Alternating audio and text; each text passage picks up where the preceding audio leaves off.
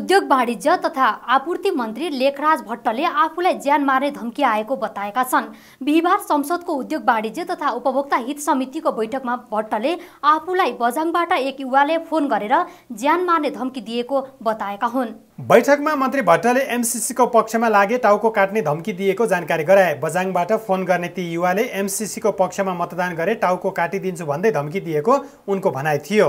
MCC सम्झौता पढेर मात्र प्रतिक्रिया दिन आग्रह गर्दा ती युवाले पढ्ने काम आफ्नो नभएको भन्दै अपशब्द प्रयोग गरेका थिए। बदाङ जिल्लाबाट एमसिसीको बारेमा। यो चाहिँ तैँले यो समर्थन गरिस् भने तेरो टाउको काटिन्छ भने सधैँ यही थियो। अनि मैले भाइ तपाईँले पढ्नु भएको चाहिँ हो भने किन पढ्नु पर्यो?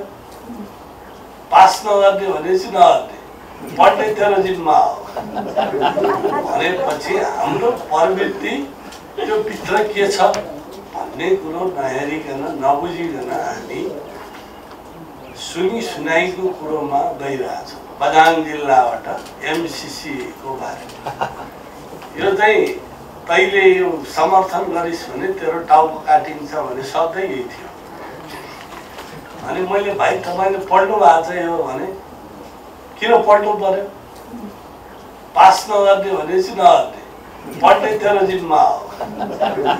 भनेपछि हाम्रो प्रवृत्ति त्यो भित्र के छ भन्ने कुरो नहेरिकन नबुझिकन हामी सुनि सुनाइको कुरोमा गइरहेछौँ। मन्त्री भट्ट पछिल्लो समय पार्टीमा प्रधानमन्त्री केपी ओली निकट देखिँदै आएका छन्।